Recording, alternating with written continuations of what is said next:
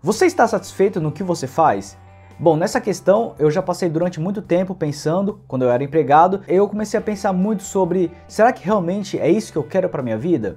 Bom, nesse vídeo vamos falar um pouco mais sobre isso. Se você ainda não me conhece, eu sou o Diogo Mitsuda e eu trabalho com empreendedorismo, marketing digital e marketing de afiliados. Se você já gosta desse tipo de conteúdo, já se inscreva no canal para não estar perdendo vídeos como esse referente a esses assuntos. Bom, a primeira coisa é que não significa que as pessoas insatisfeitas são apenas empregados, mas também são empreendedores e também empresários. São pessoas que não estão satisfeitas com o tipo de trabalho que ela está fazendo, não estão é, satisfeitas com os resultados dela que está trazendo sobre a vida dela. Então, muitas vezes elas ficam no trabalho, no trabalho que ela está fazendo na empresa, porque é o retorno que ela está tendo financeiramente e nem sempre é o que ela gosta. Só para você ter uma ideia, o Brasil é um dos maiores consumidores de remédios para ansiedade e insônia, e grande parte disso é a insatisfação no trabalho. Há uma grande incoerência quando se fala que as pessoas bem-sucedidas são felizes. Nem sempre as pessoas bem-sucedidas são felizes. Eu conheço muitas pessoas que têm cargos elevados e ganham muito bem, porém odeiam o que fazem. E as respostas delas são as mesmas. E um dos motivos que ela se mantém ainda no trabalho é o próprio dinheiro que ela tira em cima disso. E em alguns casos é porque a família depende dele. Muitos que estão inscritos aqui no meu canal já me conhecem e sabem um pouco da minha história. Mas eu vou falar um pouquinho, um pouco resumido para vocês, o que, que foi a minha história e a minha trajetória no empreendedorismo. Bom, eu estava trabalhando, eu já era empregado também, e eu comecei a fazer direito. Se vocês não sabem, eu sou bacharel em direito e, e eu comecei a estudar para me tornar funcionário público, para me tornar também um bom empregado ou até mesmo um dono de uma advocacia. Só que aí eu comecei a ver algumas coisas no direito que eu não gostava. Eu não gostava do modo de vida que eles levavam, eu não gostava de algumas coisas que eu deveria fazer como advogado. Isso me frustrava bastante, porque eu estava já me formando em direito e depois também quando me formei, eu comecei a decidir que eu não queria isso para minha vida. Eu estava trabalhando em empresas renomadas, eu trabalhei já em setores renomados, empresas é, multinacionais, só que eu não gostava do que eu estava fazendo. E foi a partir desse momento que eu decidi que eu não queria continuar mais esse tipo de vida. E assim eu comecei a buscar coisas que eu gostava, no qual eu me achei no empreendedorismo, marketing digital e marketing de afiliados. E assim eu comecei a gostar desse tipo de ramo. Então nem sempre o que a sociedade ou a família impõe para você seria que você realmente seria feliz. Os meus pais e familiares são maioria tudo concursados. E eles sempre falavam para mim, Diogo, faz um concurso, busca a estabilidade, que assim você vai ser mais feliz.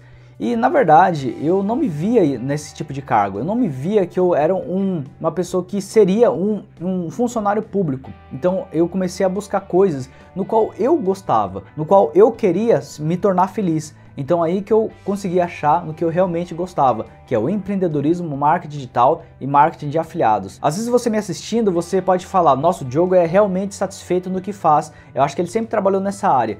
Na verdade não, pessoal. Eu nunca trabalhei nessa área e eu comecei a trabalhar com marketing de afiliados já há algum tempo atrás e assim eu me encontrei no meu mercado. Eu, eu estou muito satisfeito com o que eu faço. Eu estou muito feliz. Hoje mesmo eu acordei aqui muito feliz, eu pulei da cama, falei, nossa, é hoje que eu vou fazer mais um trabalho, mais um vídeo que eu vou gravar para minha audiência. Claro que também financeiramente eu ganho bem. Então assim, são duas coisas que complementaram a minha felicidade. E um outro ponto que também que eu queria falar para vocês seria que a infelicidade não é normal. Não é normal você ser infeliz no que faz. Isso pode levar em diversos lados. Por exemplo, você pode ter um relacionamento que você não é feliz. Se você namora uma pessoa que você não é feliz, por que você vai casar com ela? Para você concretizar a sua infelicidade? Então nem sempre a nossa vida funciona desse jeito. Você tem que pensar muito bem nas suas atitudes e também nas suas decisões que vão influenciar futuramente. Então nem sempre um relacionamento infeliz vai mudar com a concretização dele. Ou seja, também levando em consideração do trabalho.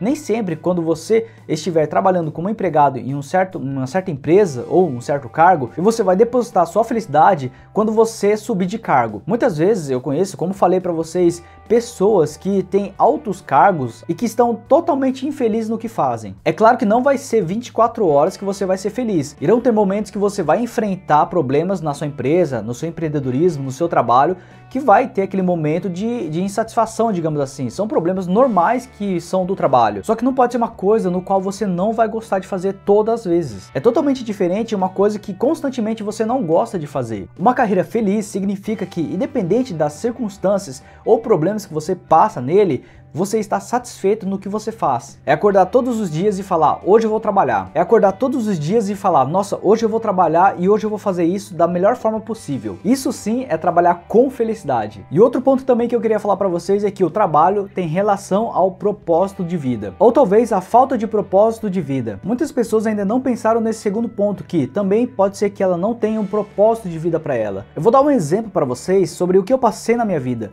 O propósito da minha vida seria eu dar uma vida melhor para minha família, para meus pais e também eu ter mais tempo para mim e também futuramente para minha família. Eu não gostava do estilo de vida que eu estava levando, no qual era bater ponto de manhã e depois às 6 horas. Isso aí todos os dias, sabe? Eu não tinha essa flexibilidade de tempo no qual eu precisava resolver algumas coisas. Teve um momento no qual eu precisava sair da empresa para poder resolver problemas particulares. Eu não poderia sair porque não deixaram simplesmente, e eram coisas importantes para mim. E mesmo assim eles não deixaram sair. Então esse foi um momento muito marcante no qual eu decidi que eu não queria mais continuar dessa forma. E esse foi um ponto decisivo na minha vida no qual eu pedi demissão. E assim, hoje eu vivo exclusivamente de negócios online. Esse foi um vídeo no qual foi a minha visão de felicidade.